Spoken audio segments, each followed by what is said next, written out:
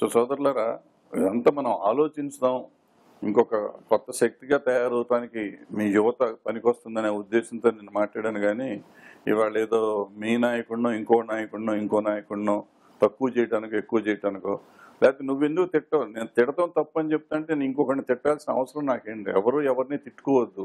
మనం తిడతంతో సమస్యలు పరిష్కారం అవ్వవు.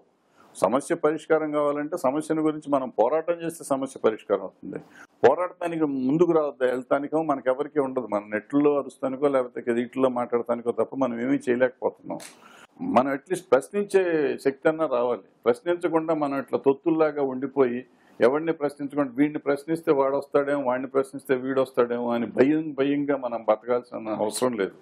మనం ధైర్యంగా ఎవరినైనా ప్రశ్నిద్దాం. ప్రశ్నిస్తేనే మనకి సం మన రాష్ట్రాలు రెండు రాష్ట్రాలకి మంచి జరుగుతుంది అనేది నా ఉద్దేశం. దయచేసి ధైర్యంగా ప్రశ్నిద్దాం. భయపడొద్దు. ఎవరికి భయపడాల్సిన అవసరం లేదు.